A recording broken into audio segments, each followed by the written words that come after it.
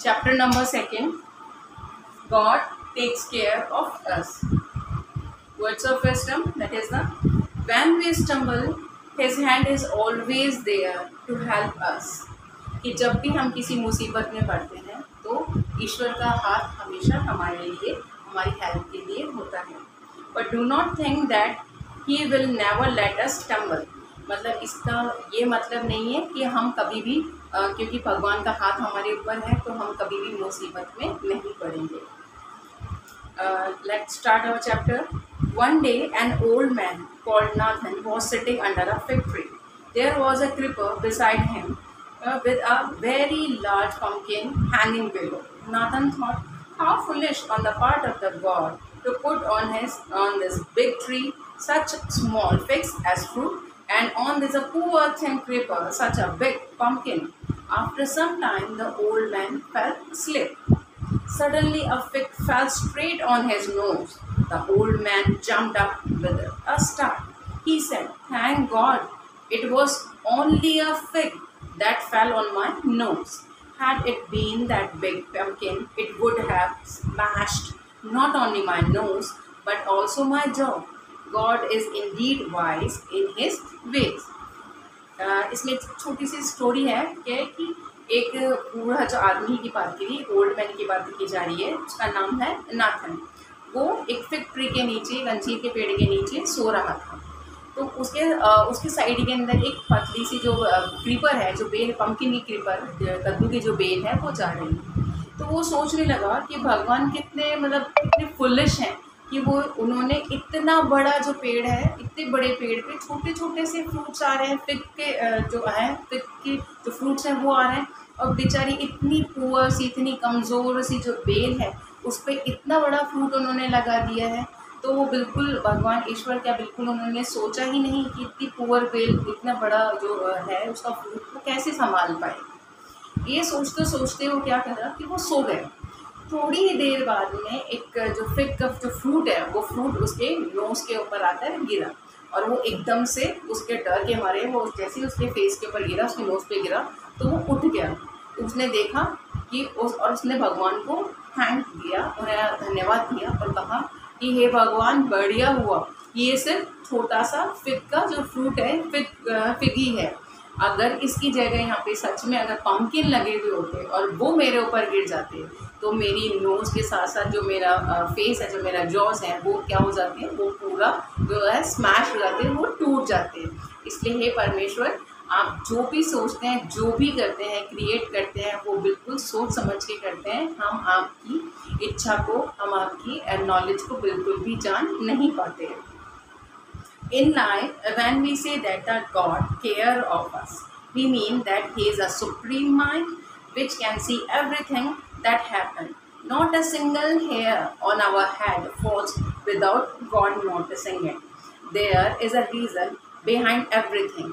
Whatever happens fulfills the plans of God for man. This care of God is called providence.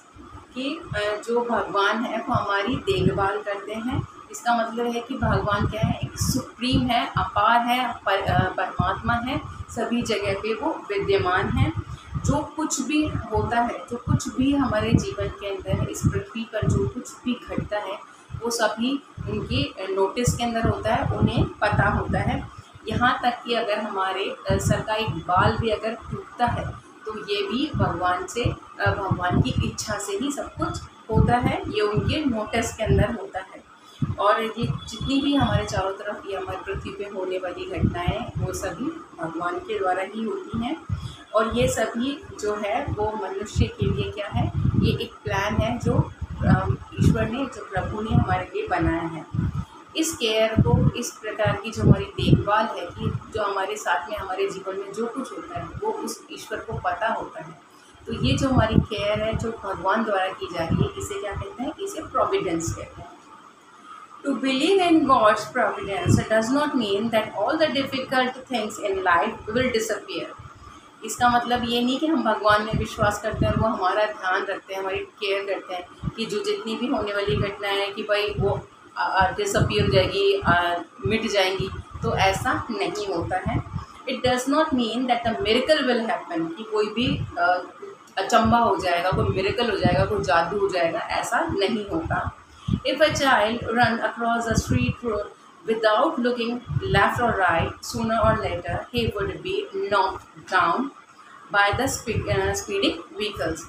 कि यदि कोई बच्चा बहुत तेज़ी से रोड पे भाग रहा है ना, वो राइट देख रहा है, ना लेफ़्ट देख रहा है, ना आगे पीछे कहीं देख रहा है, ना रुक रहा है, ना किसी व्हीकल को ध्यान दे रहा है तो ऐसे में क्या होगा कि ज़रूर किसी कोई बहुत तेज़ी से आता हुआ व्हीकल से उसका, जो उसका टक्कर ज़रूर हो जाएगी या एक्सीडेंट ज़रूर हो जाएगा। तो ये ऐसा नहीं है कि हर जगह पे भगवान आपकी देखभाल करेंगे, आपको बचा लेंगे, कोई जादू हो जाएगा कि जो बच्चा है, एकदम से बच जाएगा और जो व्हीकल है, वो चला जाएगा। ऐसा भी नहीं है। हमें थोड़ा सा हमारे पे भी ध्यान देना चाहिए। Providence is not going to stop that कि कि भगवान की इच्छा से जो केयर है, उनसे वो जो व्हीकल है, वो रुक जाएगा। ऐसा नहीं होता।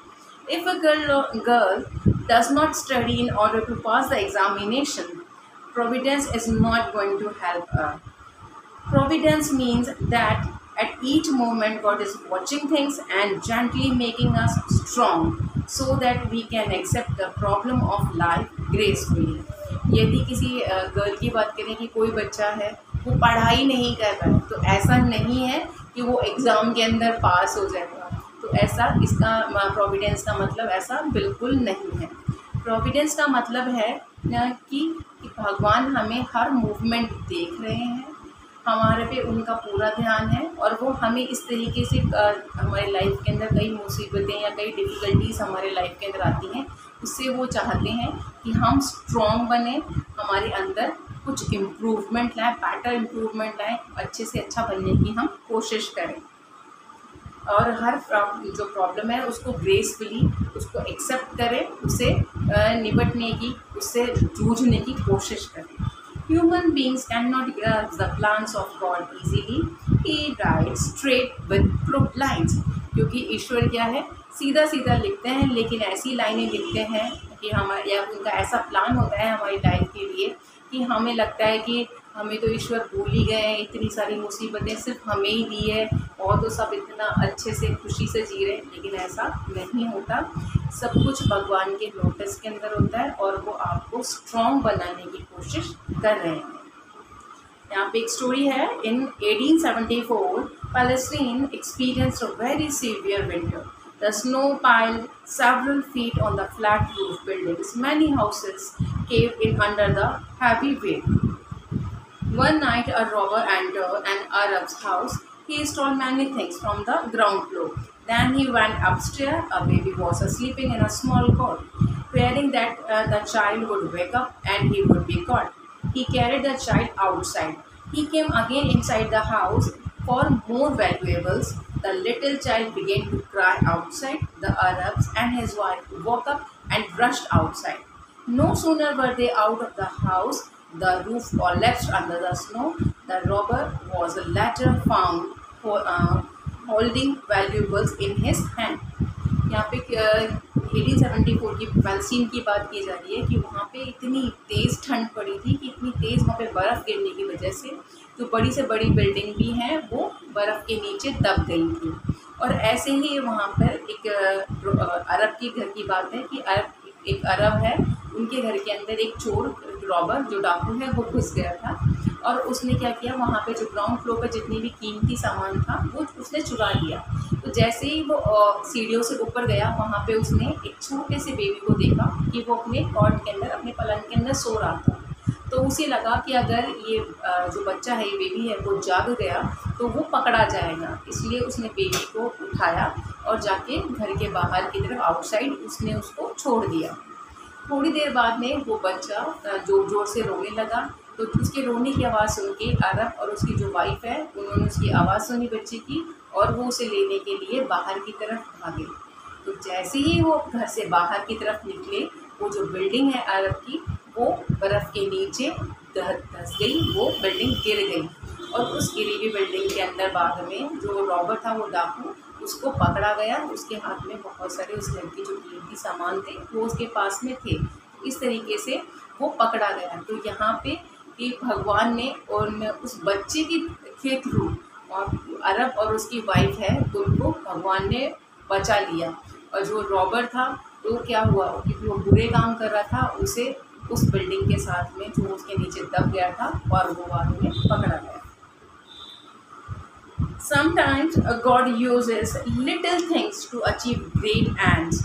Difficulties and problems are a very important part of life. It is a consolation to think that these difficulties are all given by God. They come as trials so that we can improve ourselves and change into better human beings. कि जो भगवान है वो छोटी छोटी चीज़ों का use करते हैं हमें बहुत कुछ बड़ा समझाने के लिए जितनी भी हमारी लाइफ के अंदर डिफ़िकल्टीज़ और प्रॉब्लम्स आती हैं वो हमारी लाइफ के अंदर बहुत ही इंपॉर्टेंट रोल रखती हैं क्योंकि वो एक तरीके से जो मुसीबतें हैं, जो डिफ़िकल्टीज़ हैं, वो एज ए ट्रायल्स हैं, वो हमें समझाने की, हमें स्ट्रॉन्ग बनाने की और हमारी लाइफ में हमारे अंदर बेटर इम्प्रूवमेंट लाने की कोशिश के लिए जो भगवान के द्वारा हमें दी जाती है। One king Alphonsus of the Spain was ask that according to him which was the best status और a job in life he answer I have often thought about this question I think only he who allows himself to be governed by God and trust in God is a truly happy person.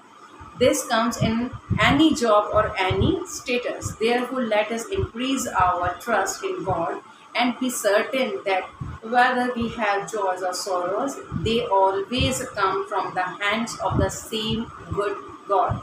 King Alphonsus जो कि Spain के king हैं, उनसे उनसे जब ये पूछा गया कि आपके हिसाब से कि सबसे जो स्टेटस है, जो स्थिति है, वो सबसे बेस्ट कौन सा होना चाहिए, या कौन सी जो बेस्ट जॉब है, वो कौन सी होगी?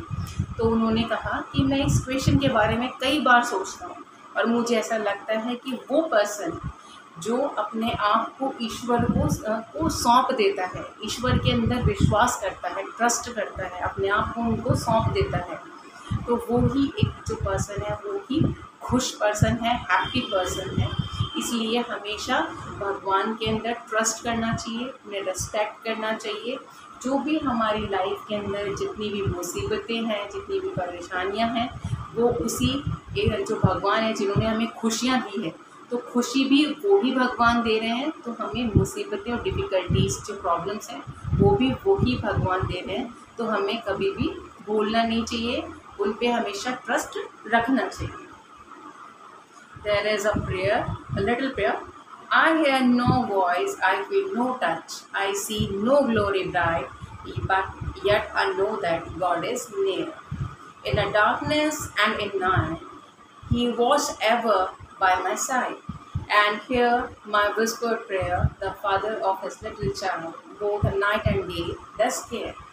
कि मैं कोई आवाज़ नहीं सुन पा रहा। मैंने, मुझे कुछ टच भी फील नहीं हो रहा। मैंने कोई बहुत जो ब्राइट लाइट है, जो ग्लोरी है ईश्वरीय प्रकाश है, वो भी मुझे दिखाई नहीं दे रहा। लेकिन फिर भी मैं ये जानता हूँ कि भगवान मेरे पास हैं, मेरे साथ ही हैं। चाहे इतनी अंधेरी रात के अंदर वो मेरे साथ हैं। वो मुझे हर वक्त देख रहे हैं, मेरा ध्यान रख रहे हैं और जो मैं उनके लिए जो प्रेयर कर रहा हूँ, वो प्रेयर भी वो सुन पा रहे हैं। वो एक मेरे वो जैसे छोटे से लिटिल चाइल्ड के वो परम पिता हैं और वो चाहे नाइट हो, चाहे रात हो, चाहे दिन, वो मेरी हमेशा मेरी देखभाल वो करते हैं।